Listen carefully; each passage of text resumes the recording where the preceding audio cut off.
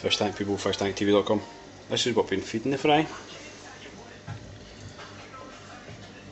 Feed them this one. As soon as the eggs hatch, well about a day after. Uh, it's full of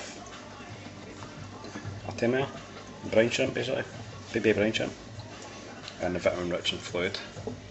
Feed them out for about five days to a week. Then you move on to the baby one, which is powder, for about another week. Then you start moving on to the bigger flakes, which like crushed up flake food. Baby two, for another maybe two weeks. Then you move on to starting to come like normal flakes.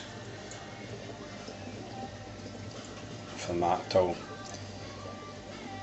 they're about a few months old. This, this one here.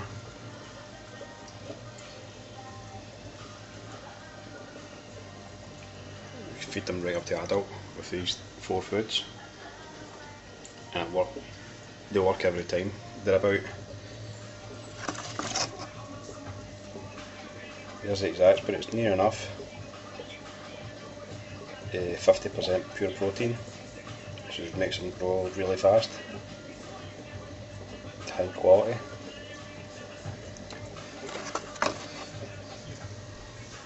Quite like JBL foods, quite a lot of them. Make a, a lot of different foods for like every kind of fish you could imagine.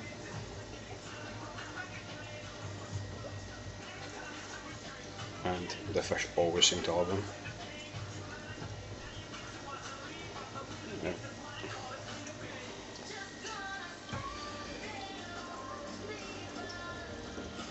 There's the fry.